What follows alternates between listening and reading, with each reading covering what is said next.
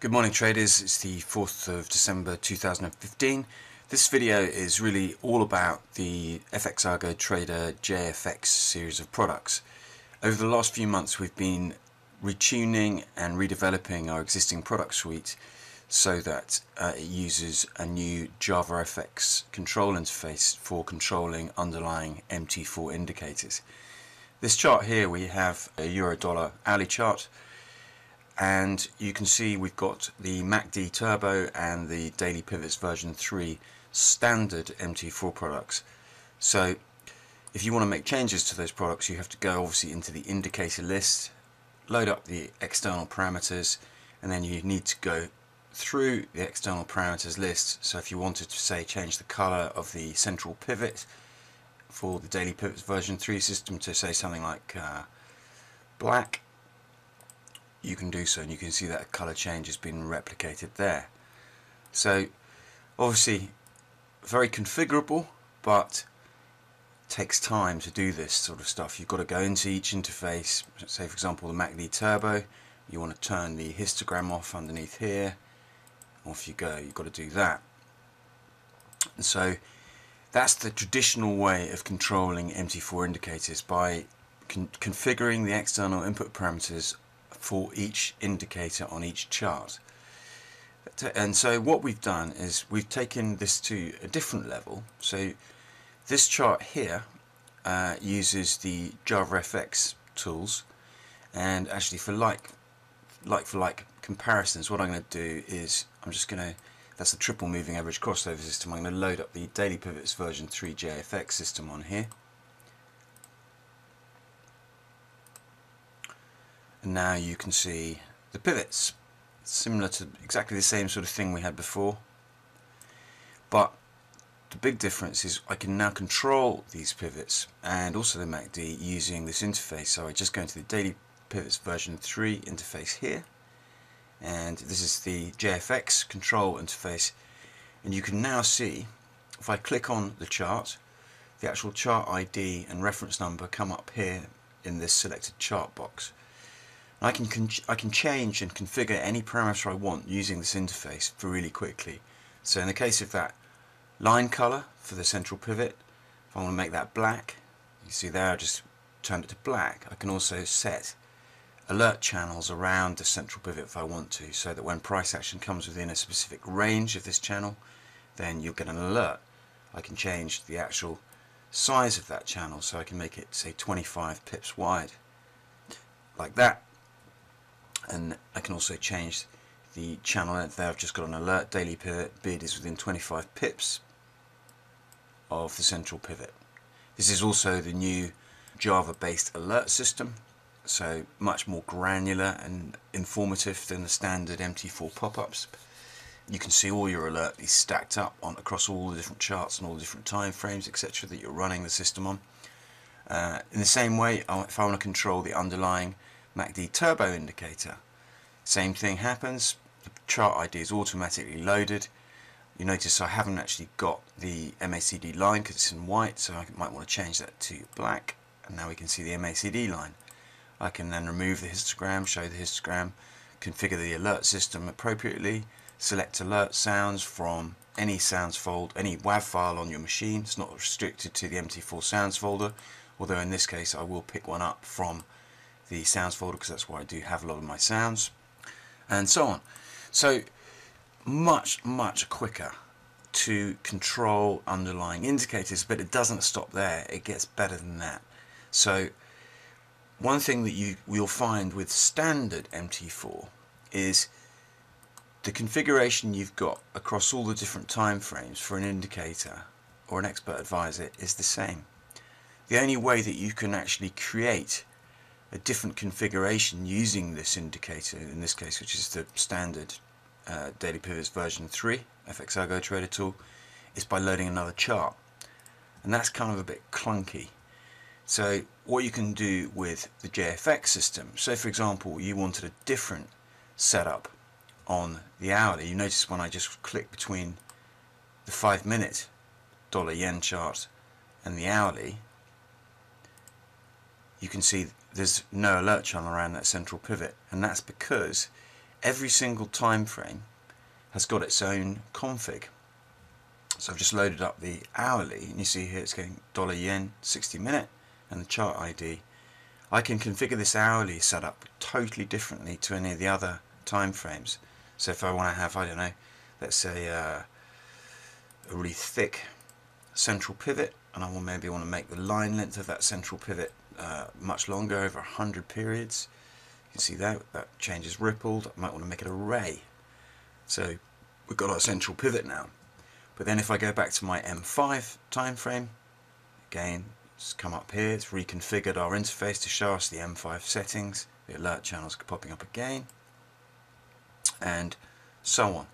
So you can see each time frame can have its a completely different configuration uh, and that's the same for all the tools. So in the MACD instance say on that hourly we might want to create uh, the MACD give the MACD a different colored histogram if you wish. So I've changed the histogram color there. And then if I go back to the M5 it's blue. So totally different configuration options based upon individual unique time frames.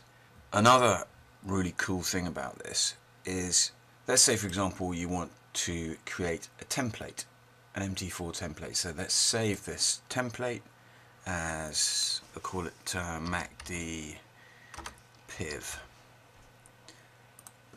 and as existing customers probably know if you open up another chart and then you go to the templates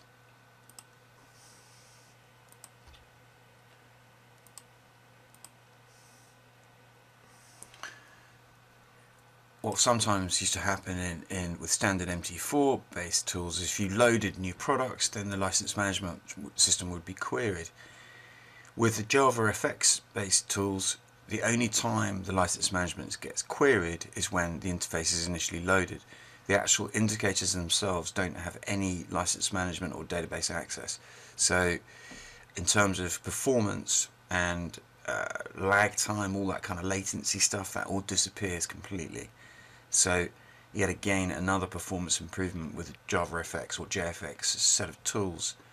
And what we have here is this little product catalog which can be moved anywhere you want. It's got always on top visibility. So you can put it on another monitor if you want. In this Camtasia video I'm only using uh, on this monitor but I have got multiple monitors off screen. But for this purpose of the demo I'll leave it visible. And let's say for example I want to stick another indicator onto this system. So let's go for the twin triple moving average crossover. And now we've got that. We can configure that accordingly. Just go to alert enable indicators twin triple MA crossover. Chart ID comes up. And let's say I want to change the long-term moving average to say 100 periods. You see that change is rippled straight through immediately. So what we're effectively doing is developing a suite of tools which are all going to be JavaFX enabled and allowing traders to make extremely quick changes to the underlying parameters on their charts to give them far more granular alert history and take all the blood, sweat and tears out of parameter changes and controlling uh, of the underlying tools which you use on a daily basis. The key thing really with all the stuff is, is the alert enabled capabilities all of the tools have got email alert capability so in the actual system you go to the email settings tab and in here you can set up a Yahoo account uh, obviously which is free and then you just stick in the registered Yahoo email address passwords recipient email address save those details and then alerts will then be sent via email to that designated account in terms of current products which are JFX enabled. We have daily, weekly and monthly pivots which form the JFX pivot series. We've got daily Fibonacci pivots, quarterly rolling pivots, six month rolling, rolling pivots, predictive pivots and we have a pivot confluence scanner as well. Uh, this is pretty cool, it's a brand new product. This is a service based tool, it doesn't actually sit in MT4 um, so it's a completely separate standalone system. And you can see here what it's doing is it's allowing us to basically scan uh, a trader defined set of currency pairs up to 21 and it's then deriving real-time confluence data. And we can see here I have confluence levels. These are all twin confluence levels. You can see that. Level 1 level 2 these are the pivot levels. And you can see the, the, the live spot price here. And you can see the distance to the pivot. That's how close price is to the pivot. And if it's from red it means it's within our defined trigger zone. So on this dollar yen uh, we have a pivot confluence between M1 and WM2 and that pivot proximity is 7 pips. That means that M1 and WM2 are 7 pips from each other. And we've got at the moment we've got a trigger level of 10 pips around that. So as price is within 6 pips we're getting an alert. If I turn the twin alert uh, system on um, and the alert interval set at 1 minute you can see here we've just been given an alert saying that prices within 7 pips of M1 and WM2 on dollar yen period is all because pivot confluence aren't specific to a time frame you can obviously see the trigger time here 7.13 and 57 seconds and obviously the date. If we have an alert file a sound file set up for that then that will be played. In this case that alert file doesn't actually exist because it's uh, it's actually a, an XML file.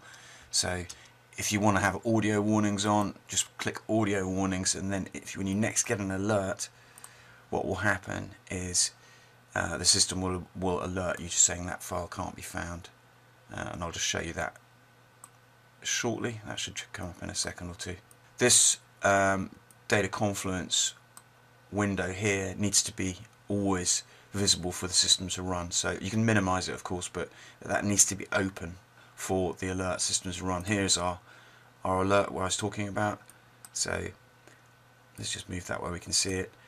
Audio file not found. The audio file called blah blah blah fxa blah blah blah build xm it can't be located. Please check the file path. So system's warning us that that's a problem. So all I need to do is just change the twin alert sound to something which I can actually uh, which is a WAV file so let's just go to that sounds file I was talking about. Can be anywhere on the machine so don't worry about that and we'll just give it a any old file. And um, that's now configured and off we go. So that's the confluence scanner and other tools uh, let's just have a quick look at I'll give you a quick overview of the uh, let's go for the three month rolling pivot system. So I'll stick that on this chart as well okay so going to these these are much longer range pivots so you're going to see those basically being laid over on this normally if you go to a higher time frame it makes a bit more sense so you can see these are the quarterly rolling pivots applied to this chart this is uh, dollar yen weekly you can see how closely you get price reactions around these these levels. Look at that. That was on the QR3. It's a pretty pretty extreme um, pivot, but you got a huge rejection off that. You saw price action come up, test it almost pip perfectly, and then you've got a, a 415 pip rejection from there. Similarly, you can control this pivot system by going to the quarterly rolling pivots interface You can resize the windows to suit your requirements and you can see here we've got this dollar yen chart's been automatically detected. I can set alert channels around these pivot levels if I wish. Um, let's have a, uh, a channel width of say 100 you can see now if price action comes within 100 pips of the quarterly S1 support level we'll get an alert being triggered. You need to give yourself a bit more room to maneuver on these longer time frames 50, 100 pip channel is a little bit extreme. I mean you'd probably be looking at I don't know say 30 pips 30 pip channel around there. So if price action 30 to 50 pips if uh, price action comes within there you could then uh, receive an alert which would then uh, give you the heads up. And you could then start to monitor how price action behaved. And if you started to see signs of rejection you could then basically jump on that and uh, and you'd be going along on from there so just a, a quick overview of the idea behind the JFX system. All of the existing uh, standard MT4 products will be rolled out onto this system uh, in due course. With all the pivot products are currently supported. We have MACD Turbo triple MA crossover and the next one to go, or the next ones to go will be the analytical tools. However, some of those may be purely Java based, so I may, may take them away from MetaTrader completely because a lot of them don't require uh, any um, chart setups. They're just they're just analytical and, and are providing data. So uh, making them platform independent kind of makes sense going forward as traders migrate to different trading platforms, etc. So hopefully that gives you a quick overview of the JavaFX systems we're developing. We're calling them the JFX series. You can find out all about them on the FX Trader website, and which is www.fxalgotrader.com. And you can you go to the site and you can go down to alert systems and you can see we've got triple MA crossover here and the MACD Turbo and with the, in the pivot systems all of these products are all JFX enabled now so um, you, you can uh, have a good look through those if you if you wish. Um, we are going to be rolling out the demos again shortly. Thanks very much for watching. If you have any questions please don't hesitate to get in touch. Uh, email address is info at fxalgotrader.com